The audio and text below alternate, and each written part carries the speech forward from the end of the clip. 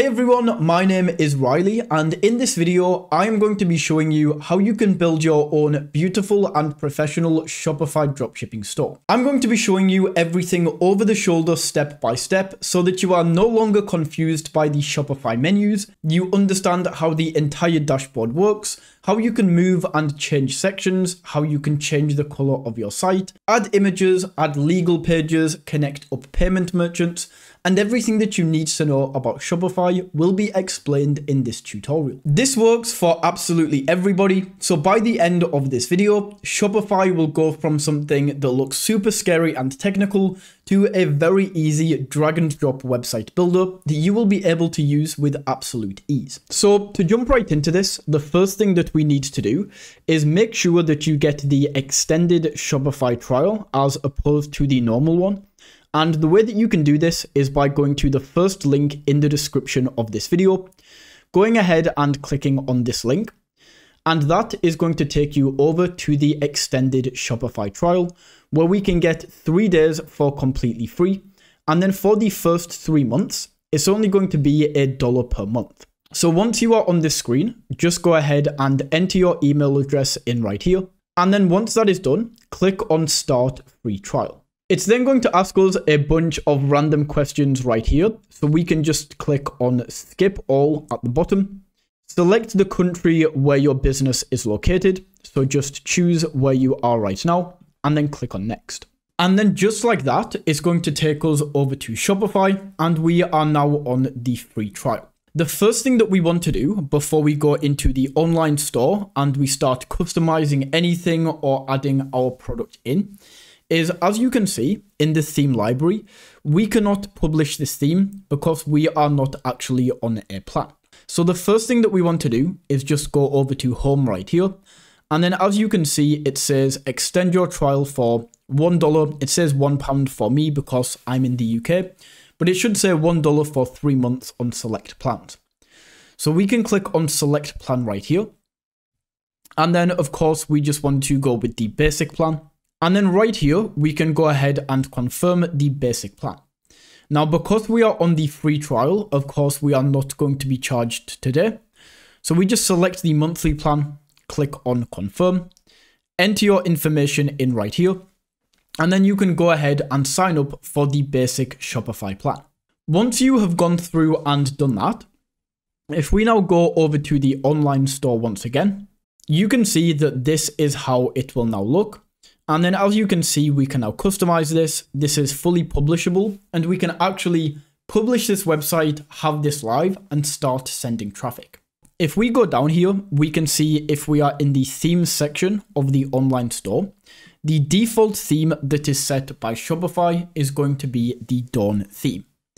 Now the Dawn theme is not the best in my opinion. So if we go down here to the popular free themes, you can see these are some of the themes that we can use. The ones shown here are not all of the free themes. We can click into visit theme store and then this is going to take us over to see all of the themes. You can see that we have 153 paid themes or 12 for 3 and some of these paid themes are very very expensive. Now if you are starting out, I would definitely not recommend any of these themes. Make sure we are on free and then the best themes that you can choose for starting out is the refresh theme right here, the Sense theme, or the taste theme. So if you are starting out, go for one of those three themes. I'm just going to choose Sense for this example. So we can load up the theme and then click on try theme right here. And that is going to go ahead and add the theme to the online store. So just go ahead and wait for your theme to fully load in right here. And then we can simply go ahead and click on publish on this right hand side. And that is now going to be the current theme for our store. You can see that is now updated. From here, we can then click on this customize button on this right hand side.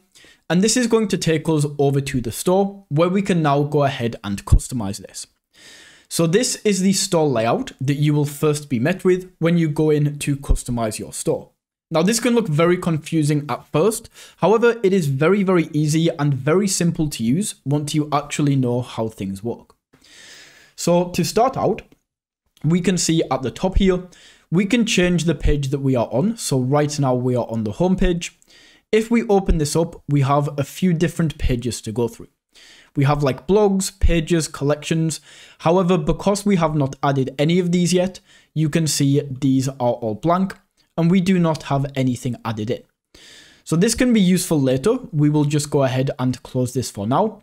Up in the top corner right here, you can see we have a few different menus to toggle through. So this is the desktop layout right here. We can flick this over to mobile where we can see how the store will look on mobile.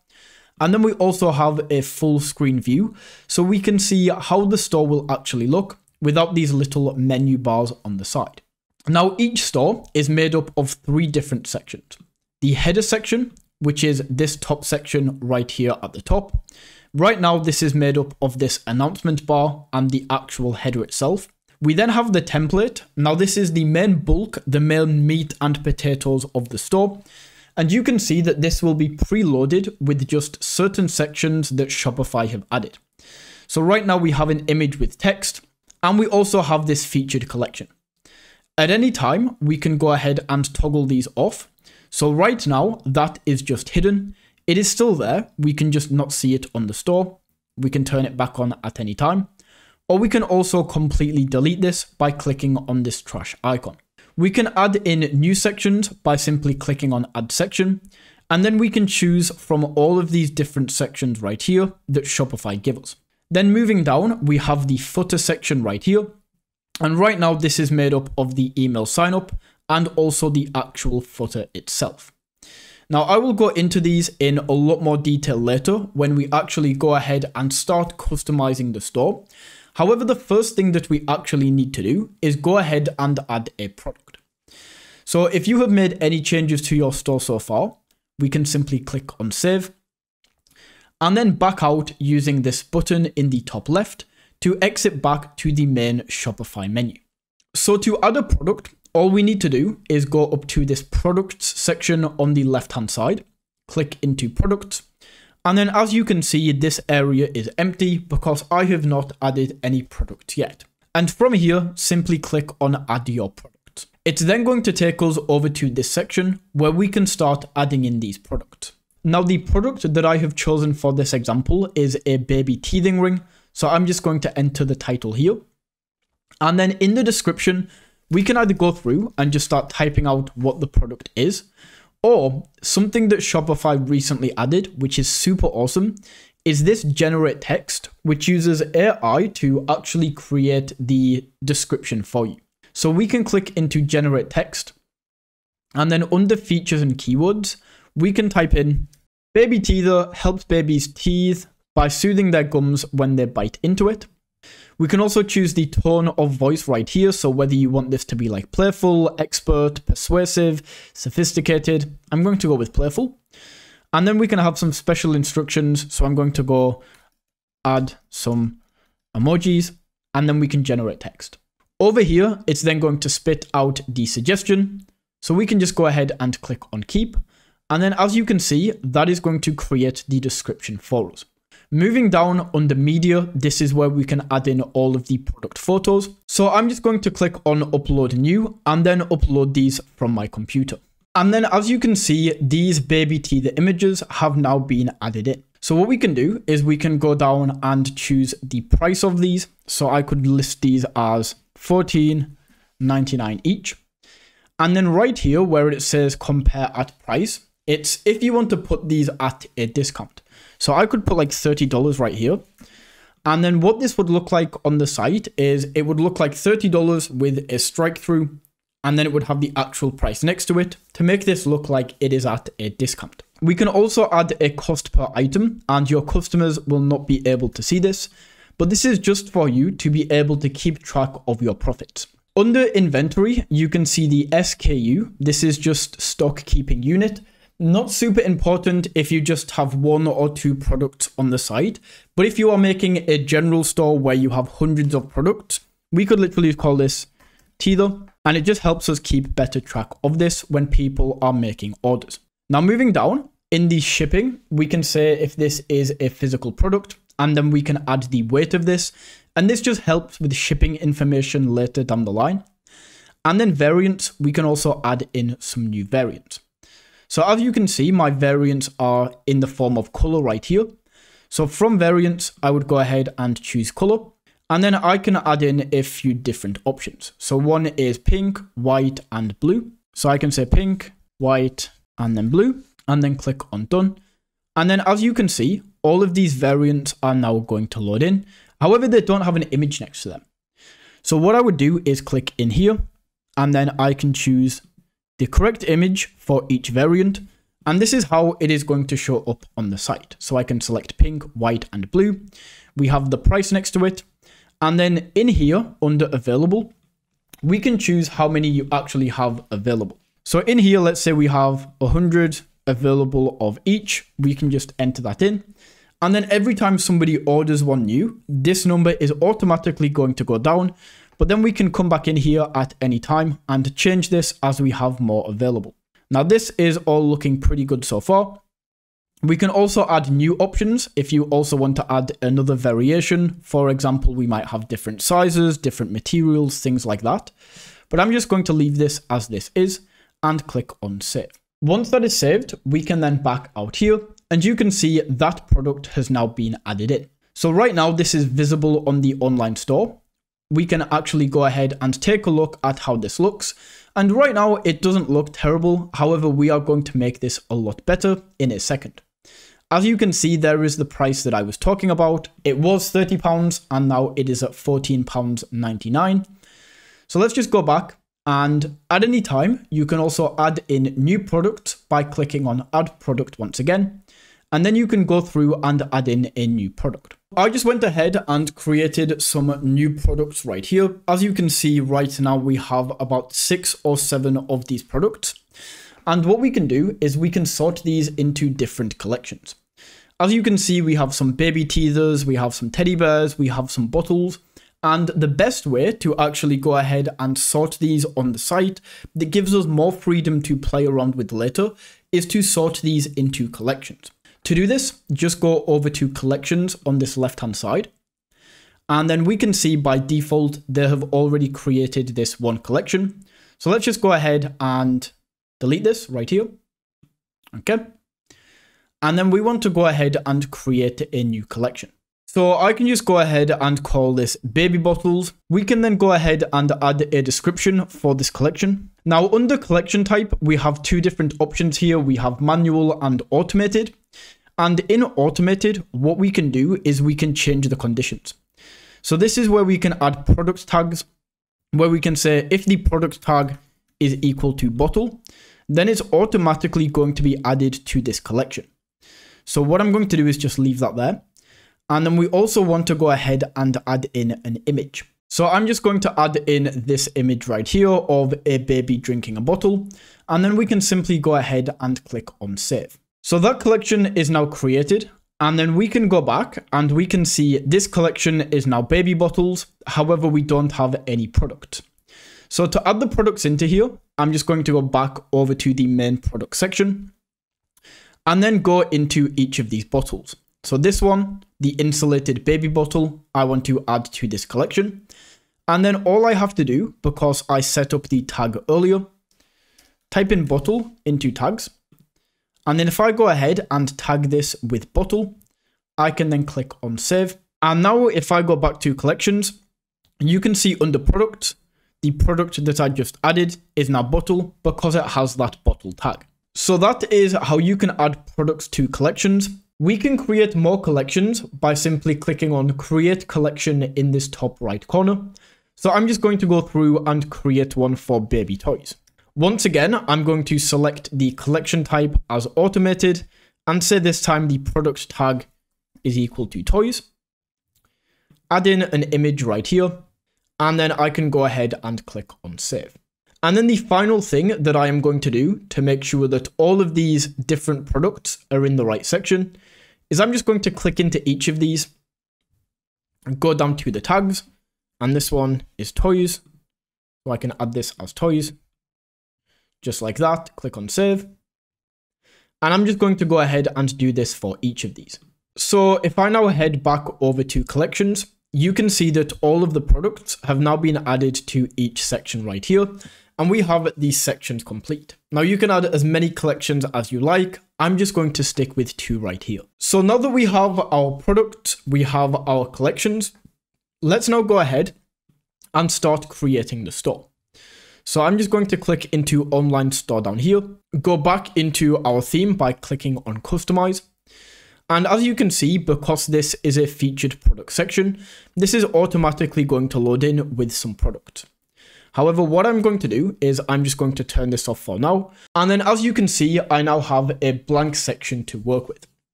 So the first section that I'm going to add in right here is an image with text. So I'm just going to go ahead and add this in right here. And as you can see, that section is now going to be added in. Over here on the right hand side, the main control panel for this section, this is where I can go ahead and play around with things. So what I can do is maybe change this around to here. And then for this image, I want to go ahead and add in an image of a baby playing. So I'm just going to use the same image that I had before.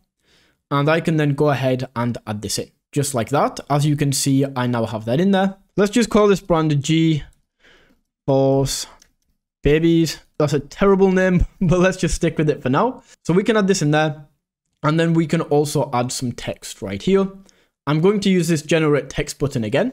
I'm just going to say, give me a slogan for my baby store and let's make this playful. There we go. I'm just going to add that. And then as you can see, we have this first section in here.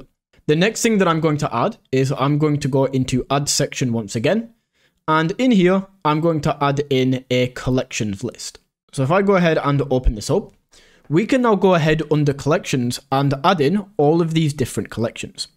So I'm just going to click into here, go to select collection, and in here I can select like baby bottles.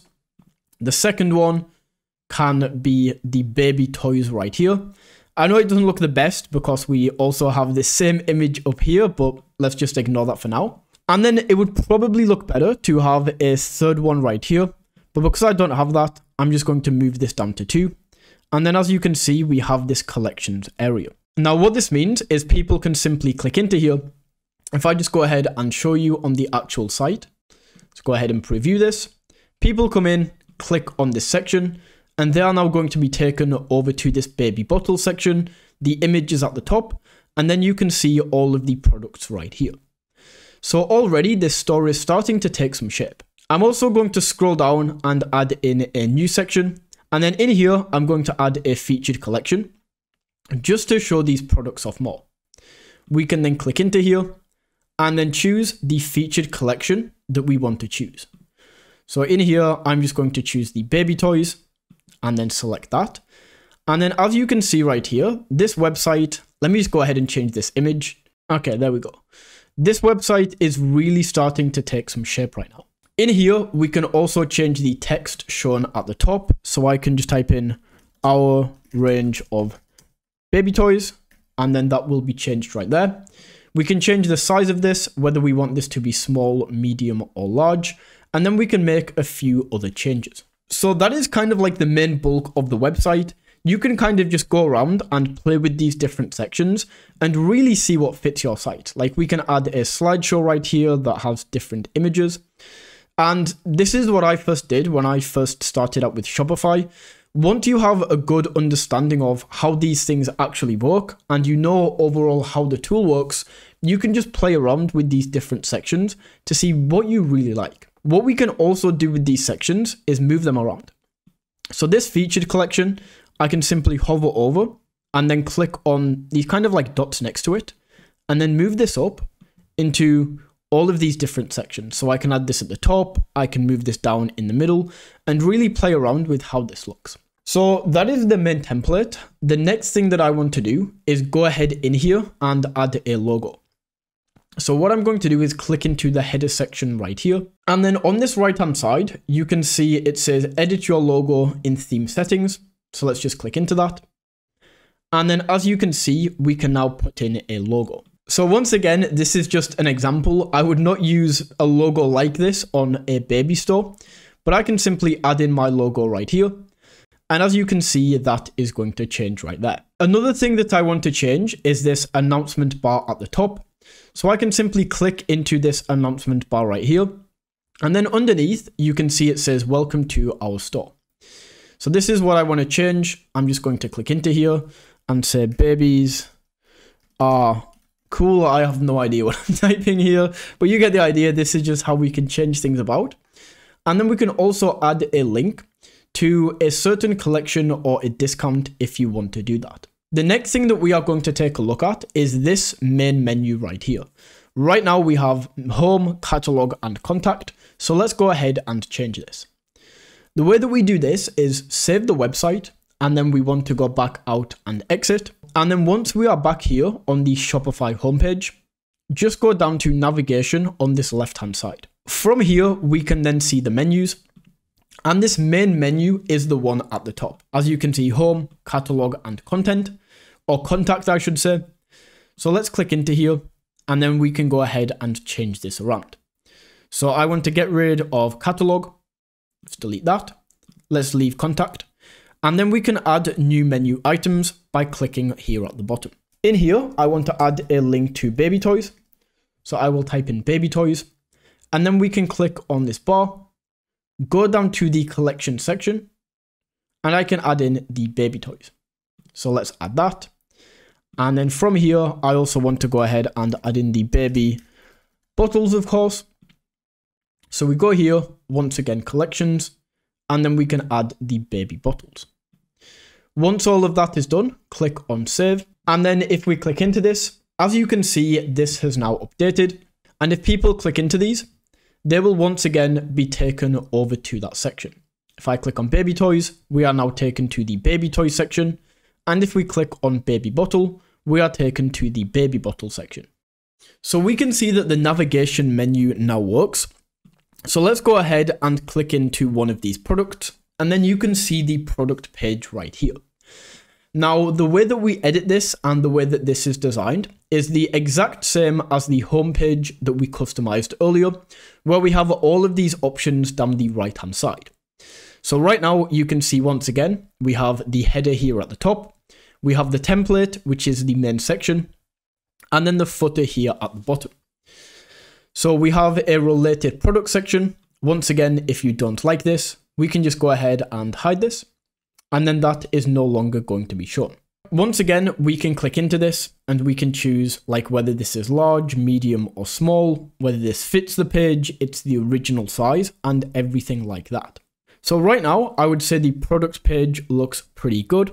But once again, this is fully editable, so we can click into any of these areas right here and just go ahead and edit the entire thing if we want to delete the description, if we want to, for some reason, delete these buy buttons, then we can go ahead and do all of that. But most of the time, your product page, the way that it looks right here, is going to be absolutely fine, so we don't need to worry about that. What we can do though, is we can actually customize the overall color scheme of the website. As you can see right now, this doesn't look bad, however, I would prefer this to be maybe a blue color to fit in more with babies. So to change this, we can go over to the theme settings on this left hand side. And then as you can see, we have colors.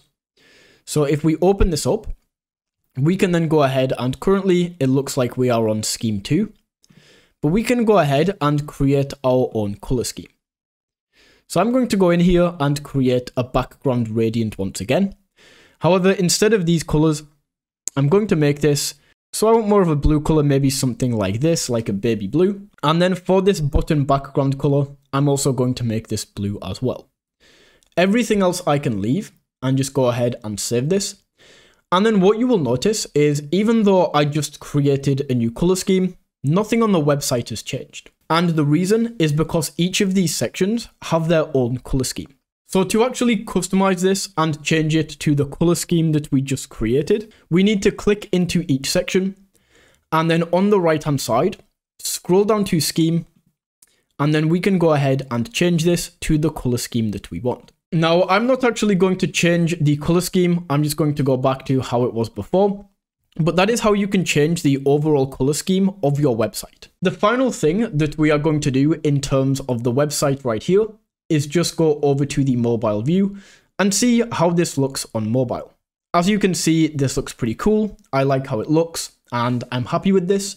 So I'm just going to go ahead and click save. And just like that, we are now done with the actual creating of the website. The next thing that we need to do is actually add legal pages to this.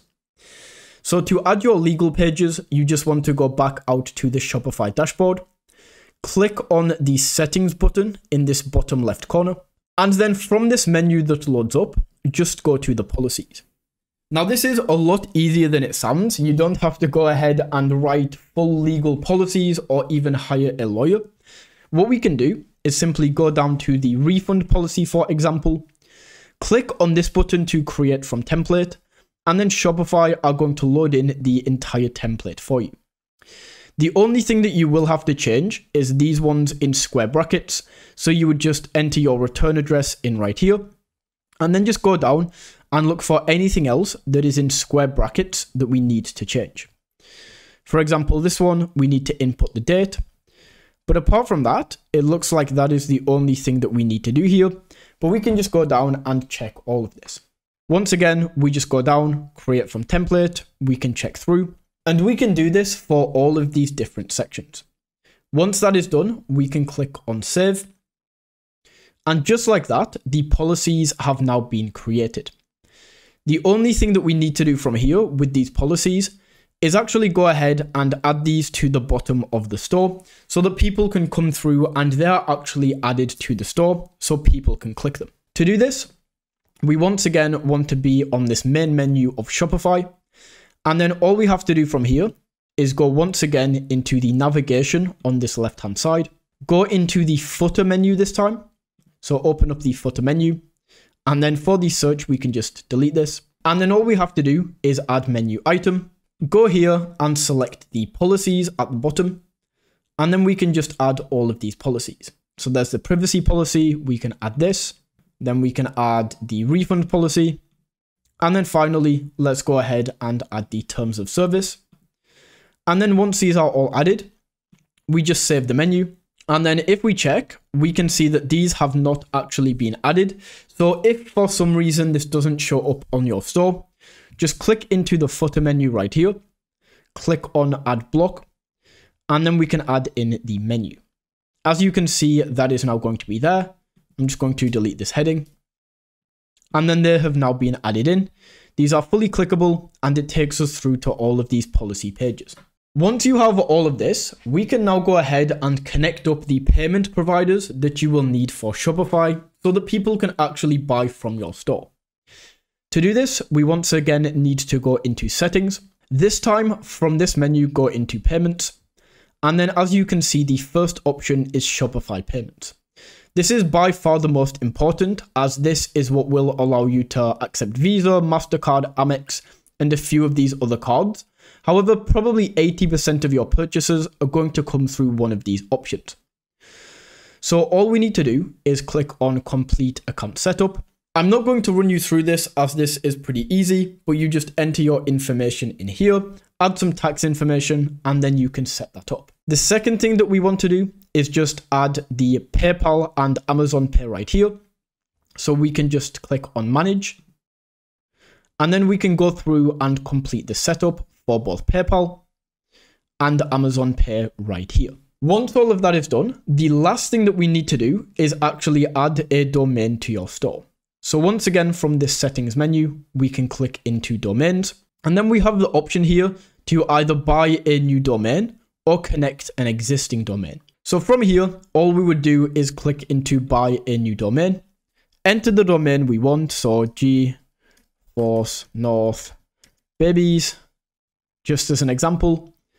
And then as you can see, this domain is only going to cost me $15 per year. So I can click on buy domain. And then I can just go through and buy this domain right here, connect it up to my store, and then I have a professional domain like this instead of this horrible domain right here. So that was my complete tutorial for Shopify. If you found this video valuable, don't forget to smash that like button and tap that subscribe button. And until next time, Take it easy.